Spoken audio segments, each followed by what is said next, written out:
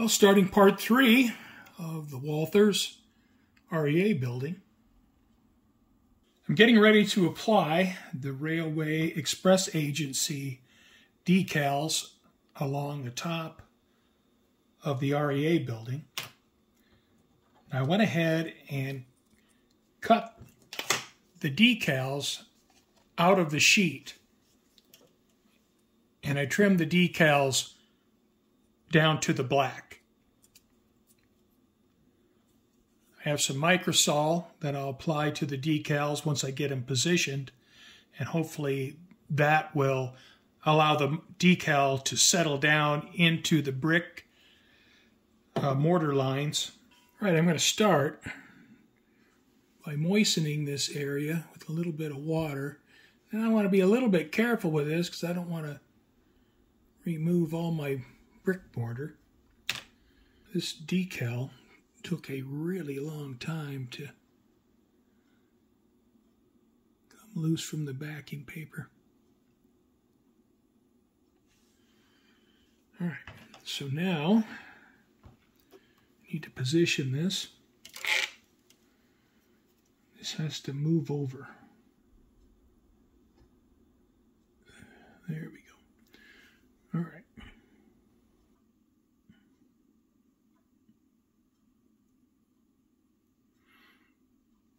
Okay, I'm trying to line up the top of the decal with this brick mortar line.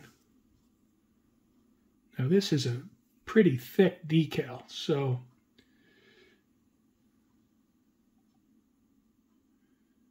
it's probably going to take a little bit of work to get this to really sit down in the mortar lines of the brick.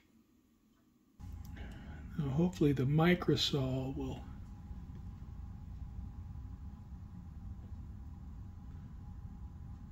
soften up these decals because they are super thick.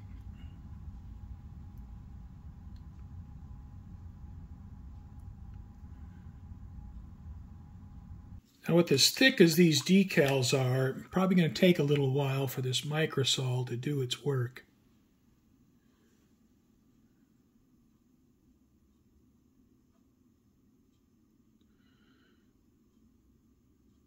I'll just dab it on. I, I don't want the decals to move, so.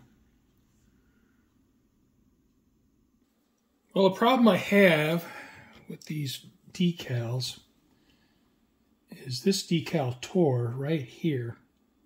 I'm going to have to touch this up with some paint. And another issue I had is the decal would not wrap tightly around the pilaster. So I ended up having to cut the decal on each side of the pilaster. And I'm going to go have to go in and touch it up a little bit with some black paint. These decals are just really thick. And I never could get them to lay down into the bricks. I even took a toothpick and scribed along the mortar line, and they just will not lay down into the bricks. And I put I put 20 coats of Micro Sol on these decals, and that's not an exaggeration. It's hard for me to uh, be very enthusiastic about these decals. At the point where I need to clear coat the model, and I need to have masks to go over the windows. So I'm going to spray the model with a satin clear coat and if I sprayed satin clear on these window panes, it would fog the windows. So I need to cut all these masks out and mask every one of the windows. I got all the masks cut for the windows and doors. It took me a few hours to do that. You can see where the painter's tape wants to wants to lift. I'll make sure that's all stuck down when I start spraying. I'm going to spray the model with MIG satin varnish. This is an acrylic varnish. And I plan on using oil paints to weather the building, so that should protect the paint underneath.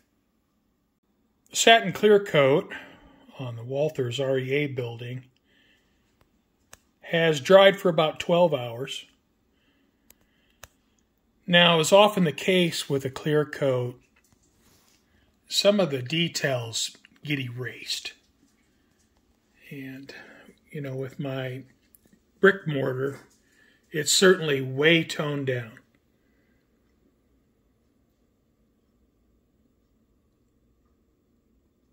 You can still see the mortar, but in some areas it's almost been wiped out. So that's something I may want to keep in mind in the future where if it seems a little bit overdone, that after a clear coat it may be just about right. Uh, the dry brushing on the roof has pretty much been erased.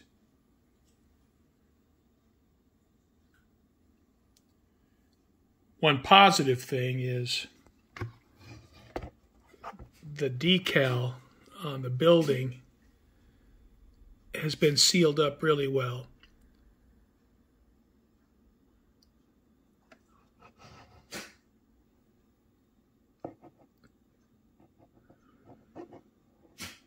You know, you have to put a clear coat on the model before weathering. Otherwise, your paint will just be damaged. I'm getting ready to start weathering the Walthers REA building. I will use some enamel products, but I'm mostly going to be using oil paint. When using artist oils, you want to squeeze them out onto a piece of cardboard before using them, and you can see where the linseed oil is being pulled out of the paint. And if you don't do that, then they just take forever to dry. Well, I have the rust done on the awning now. And I think I am done with the rust period. I'm mixing up a pin wash. And I'm using these MIG oil brushers, Starship Filth. And you can use artist oils. I just have these so they're convenient to use, so I'll use them when I when I can. Sometimes I have to mix up custom colors and then I have to use the artist oils.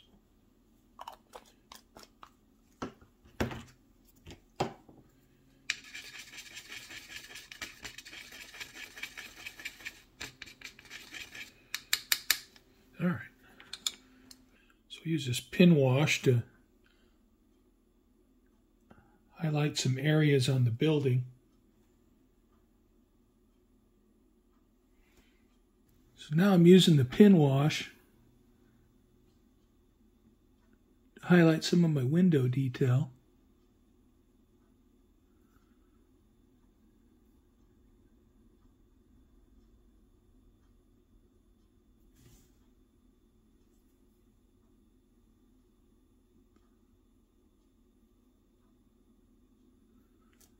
And one nice thing about using oil paint is it takes a little while to dry so you have more working time. Here I'm putting some oil paint in the corners.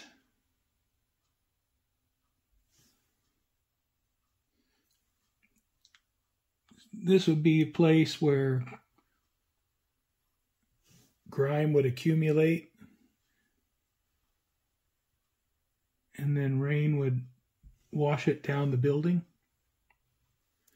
So take my brush, put just a little bit of Turpenoid on it.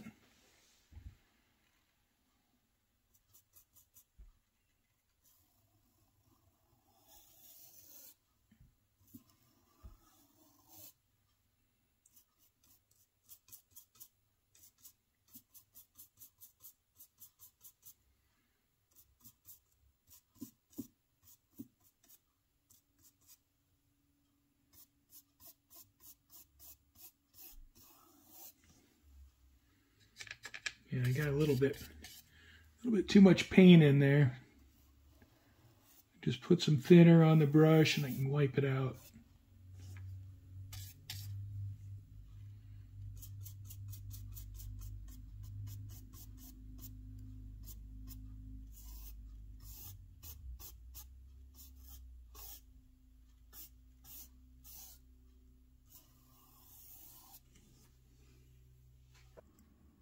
Well, I have the weathering about half done on the Walthers REA building.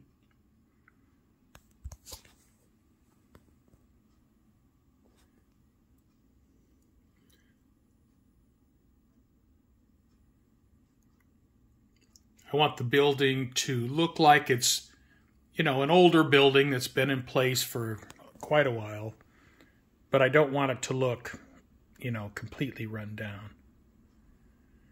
Now the weathering has dried for about 12 hours. So this is what it's going to look like. Sometimes when you freshly apply the weathering, it looks a little more intense and then it tones down as it dries. You can see I have some of the some of the grime in the corners and a little bit of streaking on the windows.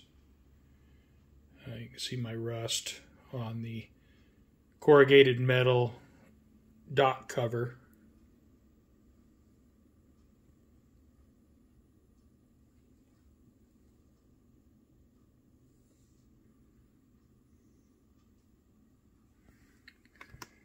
And have a pin wash in the bay doors.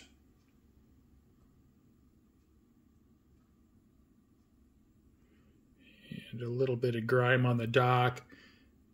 But what I'll do is I'll add some pigments to the dock once I get this building in place. I'm not going to put any pigments on it now because they'll just wear off as I handle it. And I have this end of the building done.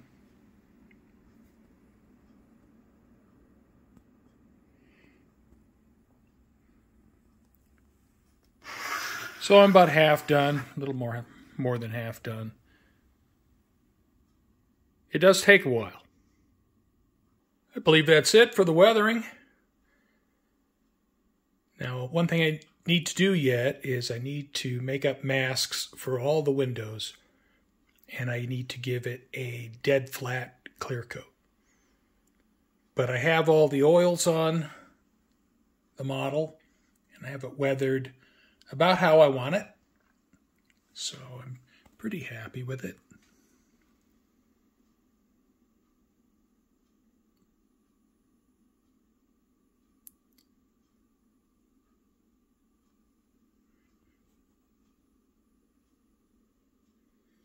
I want the model to look like it's been in place for 60, 70 years it's been pretty well maintained, but it's showing some age.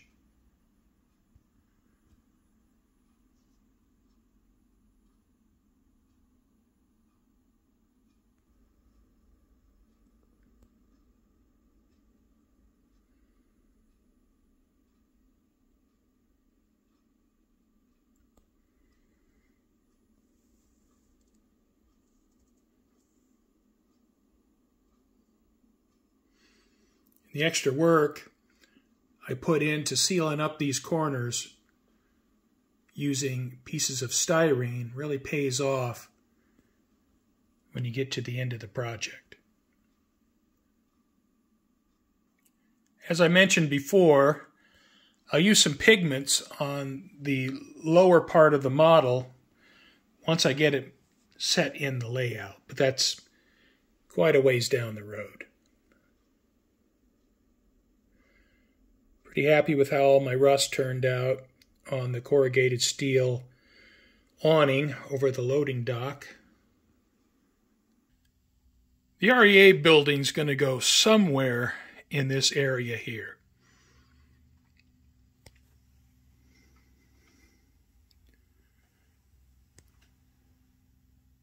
And this will be my main industrial area.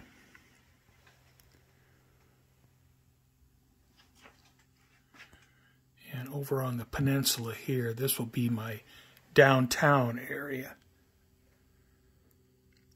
Although I will have background buildings all along this edge, and that will also be industrial.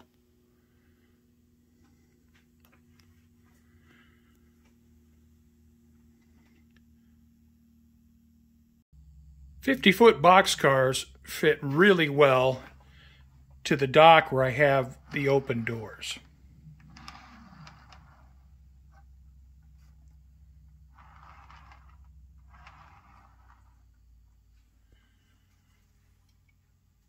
I think I'm going to end this video here. The last step will be applying a flat clear coat, but I want to let the oil paint weathering dry for a couple days before I do that. So really, there's nothing more to see. This wraps up the Walthers REA building project. And I want to thank you for watching.